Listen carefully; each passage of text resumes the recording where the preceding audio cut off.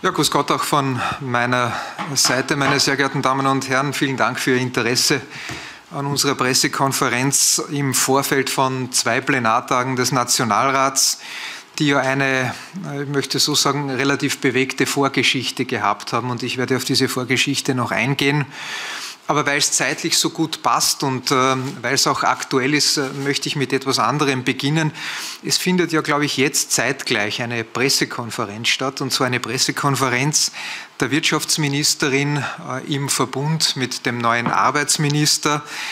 Und ähm, ja, wir haben also gesehen, dass es nicht allzu lange gedauert hat, ähm, dass der neue Bundesminister quasi den Modus operandi der gesamten Bundesregierung übernommen hat und es vorzieht, zunächst einmal über Pressekonferenzen die Öffentlichkeit zu informieren und sich dann erst in weiterer Folge äh, dem österreichischen Nationalrat zu stellen. Das ist unter kurz eingerissen. Ich halte das für keinen guten Stil.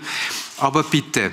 Ähm, wir können allerdings, und das muss ich ihm zugestehen, beim neuen Arbeitsminister davon ausgehen, dass er aufgrund seiner wissenschaftlichen Karriere sehr genau weiß, wie man wissenschaftlich arbeitet, und zwar nicht nur nach bestem Wissen und Gewissen, sondern natürlich auch unter Einhaltung sämtlicher äh, wissenschaftlicher Standards. Ähm, wir können aber auch von etwas anderem ausgehen bei ihm. Ähm, und das ist, dass er wohl seine politische Stoßrichtung, die er ja schon bisher äh, auch gehabt hat in seiner politischen Arbeit, zum Beispiel beim IHS, beibehalten wird. Ähm, er ist also kein unbeschriebenes politisches Blatt und äh, das war auch der Grund, warum ich äh, sozusagen nicht in diesen Chor von Vorschusslorbeeren eingestimmt bin als Clubobmann der Freiheitlichen Partei, weil ich glaube, dass es nicht um Höflichkeitsfloskeln geht, sondern es geht um die Bewertung von inhaltlichen Stoßrichtungen. Und da möchte ich ein bisschen was festhalten. Sie wissen, dass die Freiheitliche Partei gerade auch zuletzt wieder äh, für den Erhalt der Hacklerpension gekämpft hat. Der neue Arbeitsminister, äh, der ist gegen die Hacklerpension. Das ist also das ÖVP-Programm. Die Freiheitliche Partei setzt sich für eine Beibehaltung des gesetzlichen Pensionsantrittsalters ein. Der neue Arbeitsminister ist für eine Erhöhung des gesetzlichen Pensionsantrittsalters. Das ist das ÖVP-Programm. Die Freiheitliche Partei ähm, ist dafür, und hab, da habe ich auch immer dafür gekämpft in meiner Zeit als Innenminister, dass es keinen Zugang für Asylwerber zum österreichischen Arbeitsmarkt gibt, weil sonst können wir uns das Asylverfahren sparen. Der neue Arbeitsminister hat hier eine andere Position und möchte den Arbeitsmarkt für Asylwerber leichter zugänglich machen. Ähm, und äh, Sie wissen auch, dass die Freiheitliche Partei ähm, für die Erhöhung des Arbeitslosengeldes jetzt in dieser Krise äh, kämpft und sich stark macht, auch im Parlament.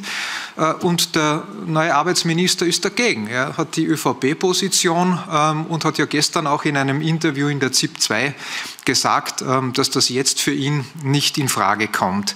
Ähm, ich sage das deshalb, weil ich in den oberösterreichischen Nachrichten etwas gelesen habe, was man als Kritik in meine Richtung äh, ausgelegt hat von Seiten des Clubobmanns der Freiheitlichen Partei im, im oberösterreichischen Landtag. Also ich bin davon überzeugt, meine sehr geehrten Damen und Herren, dass der FPÖ-Clubobmann im oberösterreichischen Landtag freiheitliche Politik macht und nicht ÖVP-Politik. Das möchte ich hier nur dazu sagen. Ja, ähm, der neue Minister ist also sehr, sehr schnell im Modus operandi der Bundesregierung Kurz 2 angekommen. Das schaut ja in etwa so aus, dass der Medienauftritt dort für die Minister als Arbeitsnachweis gilt, ähm, dass man Regieren am allerliebsten tut in Form von Interviews und von Inseraten ähm, und dass dort, wo man sich mit dem Parlament auseinandersetzt, ein gewisser Widerwille zu bemerken ist. Das muss alles möglichst kurz sein, das muss alles sozusagen ähm, nach der Methode Frissvogel oder Stirb ablaufen. Das ist das, was wir vom, äh, vom, vom Kabinett Kurz II gewohnt sind. Je weniger Parlament, desto besser. Äh, und in der Tonart geht es ja auch dahin im Zusammenhang mit den Novellen äh, des Epidemiegesetzes und des Covid-19-Maßnahmengesetzes, die jetzt in den kommenden beiden Tagen debattiert werden. Ich freue mich, dass ich heute die Pressekonferenz gemeinsam mit unserem Gesundheitssprecher Gerhard Kaniak, der ja auch Vorsitzender des Gesundheitsausschusses im Parlament ist, machen äh, darf, weil ihm ist zu gratulieren, dass es ihm gelungen ist, ähm, dem parlamentsunwilligen Gesundheitsminister Anschober einen Termin für einen Gesundheitsausschuss äh, herauszureißen, möchte ich fast sagen. Das war ja eine Steißgeburt. Ähm, der Herr Anschober hat ja erst vorgehabt, äh, im März wieder einen Gesundheitsausschuss zu machen. Für so notwendig hält abgeschaltetes Parlament. Ähm, Gott sei Dank hast du dich durchsetzen können und es wird, glaube ich, heute noch einen Ausschuss geben. Ähm, du wirst da nicht darüber berichten.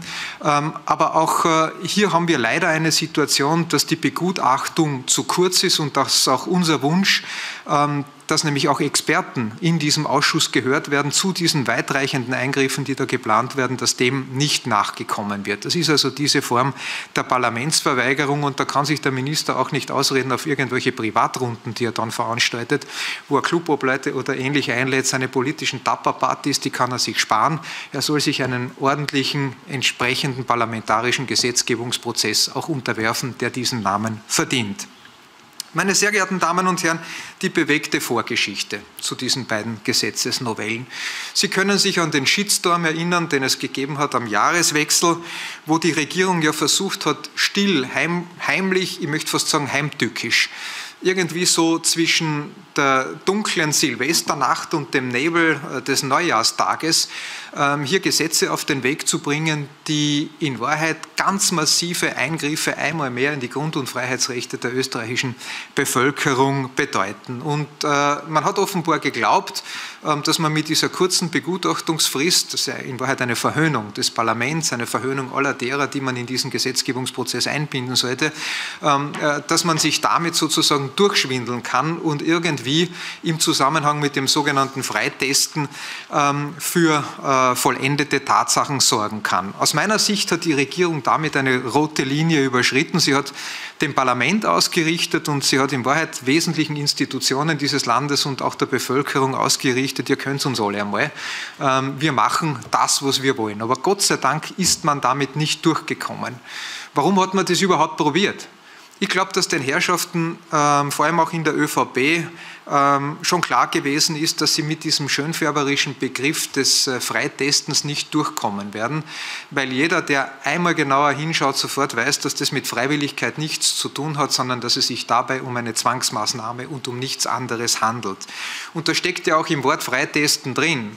Weil was ist das Gegenteil vom Freitesten? Das ist das Verbleiben in der Unfreiheit. Also da ist ja ohnehin ein Lapsus passiert, weil der Begriff auch selbst erklärend ist. Und der Widerstand gegen dieses Gesetz war auch deshalb, oder gegen diese Vorgangsweise und gegen diesen Begriff und gegen diese Novellen war auch deshalb so groß, weil auch jedem Österreicher klar ist, dass äh, die zweite Stufe nach diesen Zwangstestungen die Zwangsimpfungen sein werden. Das ist ja der Fahrplan, den die Regierung eingeschlagen hat. Und der Protest von so vielen Menschen hat dann auch dazu geführt, dass wir eine Mehrheit für den Bundesrat hatten. Ähm, gemeinsam mit der SPÖ und mit den NEOS, die gesagt haben, da machen wir auch nicht mit, das geht jetzt zu weit, wir blockieren das im Bundesrat und wir verhindern es damit de facto. Und jetzt ist eine neue Situation eingetreten. Jetzt heißt es nicht mehr freitesten, sondern jetzt heißt es Eintrittstesten oder reintesten. Und plötzlich ist die SPÖ ganz begeistert. Ja, also äh, die SPÖ geht hier einem Etikettenschwindel auf den Leim, weil im Grunde genommen der Inhalt der vollkommen gleiche geblieben ist. Ähm, ich finde den Begriff reintesten, der ist ja fast noch schlimmer, nicht? weil was ist das Gegenteil von rein? Das eine Mal ist es sozusagen draußen bleiben, aber von rein ist auch das Gegenteil unsauber, schmutzig, dreckig. Ja? Da hat ihnen die, die Sprache sozusagen wieder einen Streich gespielt. Ja, ähm, die SPÖ ist plötzlich ganz begeistert, ähm, obwohl der Inhalt ein und derselbe ist, nämlich eine massive Einschränkung der Grund- und Freiheitsrechte. Und das, was jetzt mit diesen Gesetzesnovellen passiert, ist in Wahrheit eine Art Beweislastumkehr im Gesundheitsbereich. Die Regierung stellt die österreichische Bevölkerung gegen jede medizinische Evidenz unter den Generalverdacht, dass alle also virenverseuchte Gefährder sind. Das ist die Generalannahme und die österreichische Bevölkerung hat jetzt in relativ kurzen Abständen immer zu beweisen, dass sie dass das nicht so ist, dass ich doch tatsächlich auch gesund bin. Und wenn ich diesen Nachweis meiner Gesundheit nicht erbringe, dann bin ich von bestimmten Bereichen des öffentlichen Lebens de facto ausgeschlossen. Das ist genau eine Zweiklassengesellschaft im, äh, im, im Corona-Bereich, die hier etabliert wird. Und das ist auch der Grund, warum ich im Zusammenhang damit äh, immer von einer äh, Testapartheit gesprochen habe, weil etwas anderes ist es ja nicht. Dann kommt noch etwas dazu die gesetzlichen Regelungen, die jetzt getroffen werden, ähm, geben dem Gesundheitsminister ein unglaublich weites Feld, um mit Verordnungsermächtigungen innerhalb quasi dieses gesetzlichen Rahmens vorzugehen. Und damit bekommt genau derjenige Mann wiederum die Möglichkeit, Verordnungen zu erlassen, dessen Verordnungen in der Vergangenheit alle spektakulär vor dem Verfassungsgerichtshof gescheitert sind. Das muss man sich einmal auf der Zunge zergehen lassen. Das ist ja ein Wahnsinn. Dem Herrn Anschober oder die, die Qualität der Verordnungen des Herrn Anschobers in legistischer Hinsicht, das ist genau die gleiche wie die Qualität unter Anführungszeichen der Frau Aschbacher in, akademisch, in akademischer Hinsicht. Da können Sie eine Parallelverschiebung vornehmen. Und dieser Mann bekommt jetzt de facto einen Freifahrtschein ausgestellt und da spielen wir Freiheitliche nicht mit. Es geht um drei große Punkte in dem Entwurf. Das erste ist das Eintrittstesten oder das Freitesten für Besucher von Veranstaltungen. Der zweite große Bereich ist Eintritts- oder Freitesten für Kunden, Besucher oder Gäste von Betriebsstätten. Und der dritte große Bereich, das ist das Eintritts- oder Freitesten für Arbeitnehmer. Ähm, ausgenommen von dieser Zwangsmaßnahme ist auch interessant, sind Personen, die eine Corona-Infektion überstanden haben, und zwar ähm, maximal drei Monate lang. Also wenn jemand das gehabt hat, dann gilt maximal drei Monate nach überstandener Corona-Infektion gelten diese Zwangstests nicht. Das ist deswegen interessant, weil es frei von jeder medizinischen Evidenz ist. Der Gesundheitsminister kann nicht erklären, wie er auf diese drei Monate kommt. Das ist auch völlig widersinnig. Ich darf in dem Zusammenhang nur auf ganz aktuelle Studien der Universität Innsbruck verweisen, wo festgestellt wurde, dass Leute, auch diejenigen, die kaum Symptome gehabt haben oder leichte Symptome gehabt haben, eine ganz stabile Immunität für mindestens neun Monate haben. Das ist der jetzige Stand. Vielleicht sogar noch länger, vielleicht sogar überhaupt dauernd anhaltend. Also wie man auf diese drei Monate kommt, das kann niemand nachvollziehen, außer man geht davon aus, dass man unbedingt diese Tests an den Endverbraucher bringen will, die man um überteuertes Geld eingekauft hat. Ähm, ich gebe Ihnen zwei Beispiele, meine sehr geehrten Damen und Herren, warum das Ganze so brandgefährlich ist. Das eine bezieht sich auf den Bereich des Epidemiegesetzes. Sie wissen, das Epidemiegesetz ist jener Teil, der äh, das äh, Reintesten, also die Zwangstests im Zusammenhang mit Veranstaltungen regelt. Ähm, und ursprünglich war das ja so aufgesetzt, dass unter Veranstaltungen tatsächlich die klassischen Großveranstaltungen gemeint gewesen sind, äh, die man halt so kennt, ein Konzert oder ähnliches. Aber die Regierung hat es in der Zwischenzeit ja so weit getrieben durch eine Pervertierung des Veranstaltungsbegriffs, dass jedwedes Zusammentreffen von Personen auch im privaten Bereich als Veranstaltung eingestuft wird. Das ist das große Problem dabei. Wir sind also bei Privatfeiern, wir sind zum Beispiel bei Hochzeiten, wir sind bei Geburtstagen und für alle diese Bereiche kann jetzt diese, dieser Testzwang zum Einsatz kommen. Ja, das heißt also, derjenige, der eine private Geburtstagsfeier macht, ist dann quasi der Veranstalter den Veranstalter trifft dann die volle Verantwortung quasi der Kontrolle äh, dieser Tests, auch eine mögliche Haftung. Und die Behörde hat gleichzeitig die Möglichkeit, die Gesundheitsbehörde sozusagen an der Örtlichkeit der Veranstaltung Nachschau zu halten. Und da sind wir mittendrin im privaten Bereich, weil nämlich der private Bereich mit Ausnahme äh, des unmittelbaren Wohnbereichs nicht von dieser Kontrolle ausgenommen ist. Das heißt, wenn Sie in Ihrer Garage so etwas machen, wenn Sie irgendwas im Gartenhäusl machen oder im Kellerstüberl, dann wird hier die Möglichkeit für den Gesundheitsminister geschaffen, mittels Verordnung ähm, genau seine Zwangstests in diesem Zusammenhang zur Anwendung zu bringen. Na, das ist interessant, nicht? Also der Kindergeburtstag, wo dann der eigene Sohn oder die eigene Tochter zu den anderen Kindern geht, zu einer anderen Familie, ich weiß nicht, äh, dann müssen dann die Eltern einen Test machen, damit sie das Kind dorthin begleiten dürfen. Und derjenige, der einlädt, steht in der Verantwortung, hier eine entsprechende Identitätskontrolle und einen Testnachweis durchzuführen. So weit haben wir es gebraucht mit der Gesundheitspolitik dieser Bundesregierung. Und das ist deswegen so bedrohlich, weil Sie müssen immer einen Schritt weiter denken und nur das Wort Test durch das Wort Impfen ersetzen, dann sind Sie dort, wo die Regierung wirklich hin will. Und dort war ja äh, Karl-Heinz Kopf verräterisch, der gesagt hat, es wird jetzt in Österreich so lange getestet, bis eine flächendeckende Impfung durch ist. Und eine flächendeckende Impfung werden Sie in Österreich nur zustande bringen, wenn Sie einen Impfzwang einführen, der jetzt dementiert wird. Das ist also der erste problematische Bereich, dieses Eindringen in den Privatbereich über den Hebel des Veranstaltungsbegriffs, der pervertiert wurde. Und das zweite, das ist der Bereich nach dem Covid-Maßnahmengesetz. Und jetzt ist ein bisschen Fachchinesisch, aber das ist leider so, da geht es um Gäste, Kunden und Besucher, denen durch Verordnung das Betreten oder Befahren von Betriebsstätten oder nur bestimmten Betriebsstätten zum Zweck des Erwerbs von Waren oder der Inanspruchnahme von Dienstleistungen, das sind also Friseure, das sind Geschäfte, das ist eine Tankstelle zum Beispiel, oder das Betreten und das Befahren von Arbeitsorten oder nur bestimmten Arbeitsorten, das wäre zum Beispiel ein Büro, oder das Betreten oder das Befahren von bestimmten Orten, das wäre zum Beispiel ein Zoo, ein Tiergarten, ja, ähm, bei denen es zu einer länger andauernden Interaktion mit anderen Personen kommt, äh, nur dann erlaubt werden kann, wenn ein negativer Test vorliegt. Da reden wir wahrscheinlich von dieser 48-Stunden-Regel. 48 Stunden hat dann ein solcher Test Gültigkeit, medizinisch auch sinnlos, wie wir wissen, weil er in Wahrheit nur ein paar Stunden überhaupt irgendeine Aussagekraft hat. Und jetzt wieder, ergänzen Sie oder, oder ersetzen Sie das Wort Test durch Impfung und Sie wissen, wohin die Reise geht. Und wenn Sie sich diese Formulierungen jetzt anhören, dann merken Sie, dass eigentlich eine völlige Unklarheit damit besteht. Da sind viel mehr Fragen offen, als dass damit geklärt werden. Was bitte ist eine länger andauernde Interaktion? Wie lange dauert eine länger andauernde Interaktion? Zehn Minuten? 20 Minuten? Eine Stunde? Was ist damit gemeint?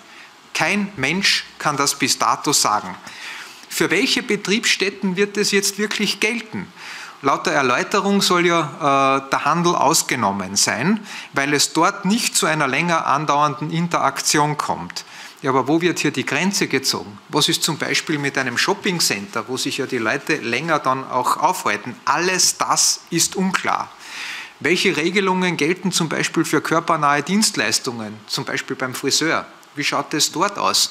Äh, Gibt es da einen Unterschied zwischen Männern, wo das im Normalfall äh, nicht so lange dauert, wenn man sich die Haare schneidet, ähm, wie bei einer äh, Frau, die sich vielleicht eine Dauerwelle machen lässt und die Haare färben? Alles völlig unklar. Wie schaut es im Bereich der Fitnessstudios zum Beispiel aus? Keine Antwort von Seiten der Bundesregierung. Wer ist tatsächlich dann verpflichtet, diese Tests zu kontrollieren? Wer ist es? Wer wird das machen? Wer trägt die Verantwortung für ein äh, fehlendes oder für ein veraltetes Testergebnis? Alles völlig im Unklaren. Wie schaut es bei Beherbergungsbetrieben aus? Muss man dann alle 48 Stunden wieder einen neuen Test vorweisen? Ich denke zum Beispiel an diese Montagetrupps, die da ja teilweise aus den Bundesländern kommen, dann in einem Beherbergungsbetrieb unter der Woche untergebracht sind ähm, und dann auf einer Baustelle arbeiten. Müssen die jetzt dann alle 48 Stunden wieder einen entsprechenden Test machen? Und wo machen es denn? Alles das ist völlig unklar, meine sehr geehrten Damen und Herren. Und das ist das, was uns so ärgert. Und ich glaube, dass diese Unklarheit kein Betriebsunfall ist, sondern das ist einfach der Versuch einer Bundesregierung, ähm, die ja nicht einmal beim Lockdown genau sagen kann, welche Zahlen erreicht sein müssen, damit er fortgesetzt oder eben beendet wird, sich einen möglichst großen Ermessensspielraum zu halten. Das ist der Versuch. Ja? Also einfach das eigene Betätigungsfeld möglichst weit auszudehnen. Und das ist aber genau das Gegenteil von Planbarkeit, es ist das Gegenteil von Sicherheit, es ist das Gegenteil von Logik, von Hausverstand und von Nachvollziehbarkeit, den es genau brauchen würde. Und da darf man sich dann auch nicht wundern, wenn der Unmut in der Bevölkerung wächst, wenn die Leute ihrem Unmut auch Luft machen wenn es dann zu äh, Demonstrationen kommt, wenn die Leute auf die Straße gehen und sich zu Recht über diesen ganzen Wahnsinn ähm, auch beschweren. Und dann kommt die Gegenreaktion der Bundesregierung dann bezeichnet man die Leute zunächst als Aluhutträger, als Idioten und das steigert sich dann immer mehr, weil jetzt haben wir dann schon einen Punkt erreicht, wo sie in Wahrheit als Staatsgefährder denunziert werden. Von Seiten von Vertretern der österreichischen Bundesregierung, wo ein Polizeipräsident oder Polizeidirektor heißt das in Oberösterreich, äh, sich dazu versteigt, diese Leute als Mob zu bezeichnen wo in Deutschland von, von, von, von Corona, RAF und ähnlichen Dingen die Rede ist, wo man also bei einem Punkt angekommen ist, ähm, wo ich wirklich glaube, dass diejenigen, die das betreiben, von allen guten Geistern verlassen sind. Und da habe ich mich heute unglaublich geärgert darüber, weil ich einen Brief vom Herrn Sobotka bekommen habe, ähm, wo er sich an die Abgeordneten, an die Clubobleute wendet ähm, und wo er aus meiner Sicht den skandalösen Versuch unternimmt, die Ereignisse rund um das Kapitol in den USA dafür zu missbrauchen, um Regierungskritiker in Sachen Corona in Österreich zu kriminalisieren. Das ist genau das, was er in diesem Brief macht. Das ist einfach ungeheuerlich. Anders kann man das nicht bezeichnen. Diese friedlichen Demonstranten hier in einen Topf zu werfen mit den Ereignissen in den USA.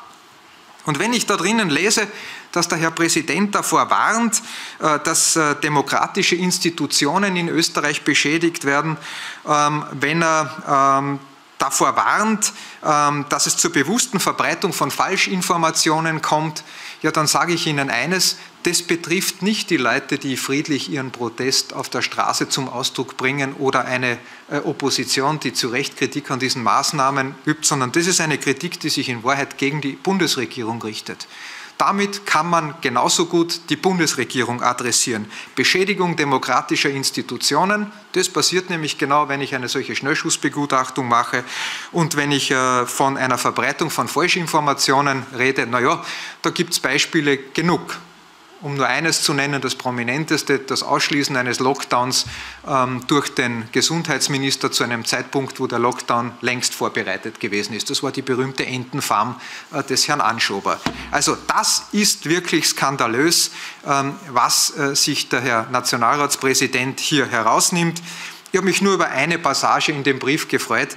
Er sagt da drinnen, dass er einen störungsfreien parlamentarischen Betrieb sicherstellen will. Naja, das ist ohnehin eine Selbstverständlichkeit. Ich hoffe, das gilt dann auch fürs Rednerpult. Ja, ich würde gern einmal störungsfrei äh, eine Rede im Nationalrat halten, ohne dass mir der Herr Nationalratspräsident in den Rücken fällt. Vielleicht schaffen wir das in den kommenden beiden Tagen. Ja, meine sehr geehrten Damen und Herren, das, was die Regierung jetzt unter neuem Namen vorlegt, ist und bleibt der gleiche Zwang wie das, was sie zurückgezogen hat. Es ist einfach ein unbrauchbares Produkt umetikettiert worden und neu in die Auslage gestellt worden. Wir Freiheitliche werden dem unseren Widerstand entgegenbringen und natürlich nicht zustimmen. Das ist ja vollkommen klar, weil hier eine Zweiklassengesellschaft äh, geschaffen wird, weil hier Gesundheitsapartheit betrieben wird, in Wahrheit in Österreich. Was wir wollen, ist ein Ende des Lockdowns, selbstverständlich, ähm, und im Zusammenhang mit Tests äh, und Impfungen nichts anderes als ein System der Freiwilligkeit. Ich glaube, das ist eigentlich das Modell, äh, das in einer Demokratie das präferierte sein soll. Und ich weiß nicht, welcher Teufel die SPÖ reitet. Kommen wir damit schon zum Abschluss. Aber da muss man sich fast fremdschämen für den Umfaller der hier einmal mehr von Seiten der Sozialdemokratie passiert ist.